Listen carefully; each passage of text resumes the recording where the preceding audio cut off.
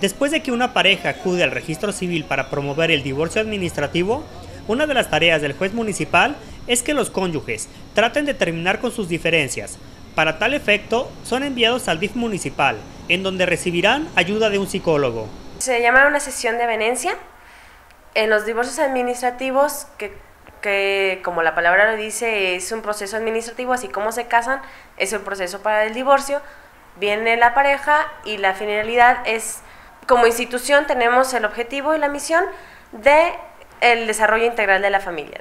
Entonces, el integrar a la familia, el ver cuáles son las opciones que tiene esa familia que ya se fundó con esa pareja para que no se disuelva.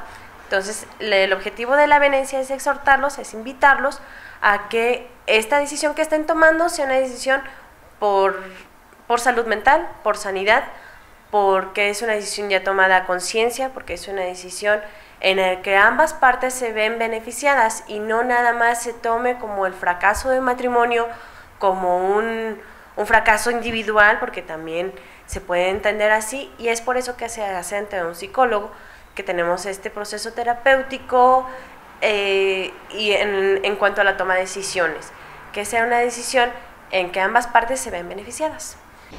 Con sesiones de terapia de pareja podría suspenderse el proceso de divorcio.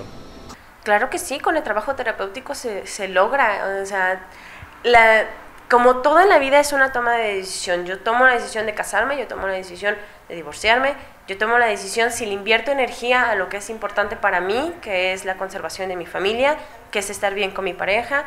Y todo eso es, en esa decisión que yo tomo, invierto esa energía para lograrlo. Si es importante, si no. Y a, a veces de procesos terapéuticos Claro que sí, no es como, como en algunos casos se, se cree o como en la voz popular se cree que si vas al psicólogo te divorcias, es para divorciarte. No, es para analizar qué es lo más sano para que esa, esas decisiones que se toman sean en consecuencia, sean consecuentes a lo que yo quiero para mi vida, mi proyecto personal, mi proyecto matrimonial, mi proyecto de familia, que todo eso vaya acorde con lo que hago, siento y pienso para lograr que mi vida sea lo más sana posible, que sea lo más feliz posible.